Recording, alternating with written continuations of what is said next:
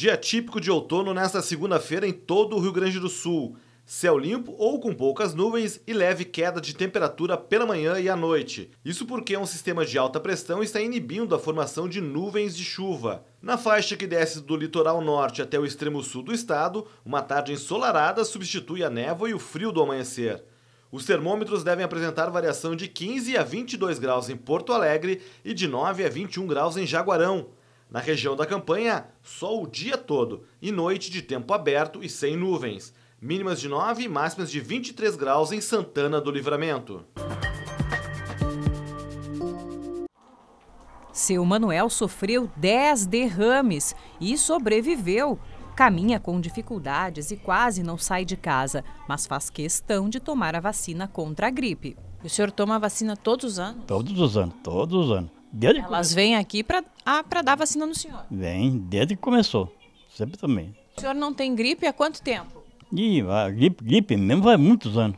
O programa Vacina em Casa foi criado pela Prefeitura de Passo Fundo em 2013. Já são sete anos de atendimentos na casa de quem tem alguma dificuldade de locomoção.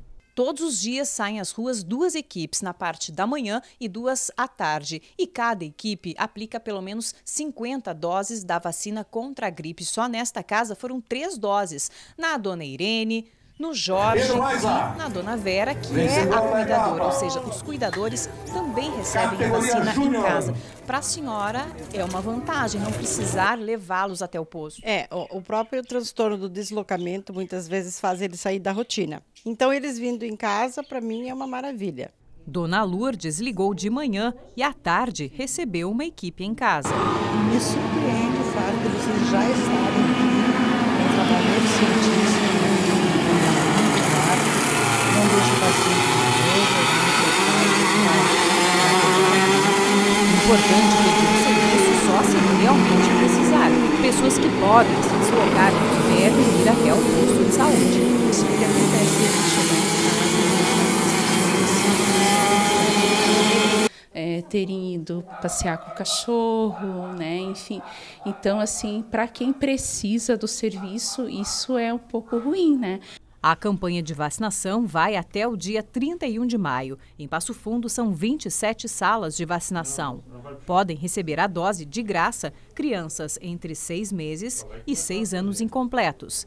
Gestantes, puérperas, idosos profissionais da saúde, indígenas, profissionais da segurança pública, professores, pessoas com doenças crônicas não transmissíveis, presidiários, jovens e adolescentes que cumprem medidas socioeducativas.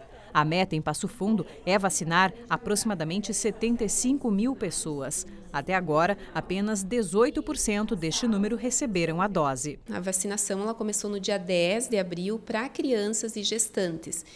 Então, nós esperávamos de ter um número um pouco maior hoje, porque nós tivemos praticamente duas semanas só para esses dois grupos. No ano passado, nós tivemos aqui em Passo Fundo quatro casos de mortes e muitas, muitas vezes, assim, é claro que é em decorrência de outras complicações, pneumonias, enfim, mas a causa principal foi a gripe.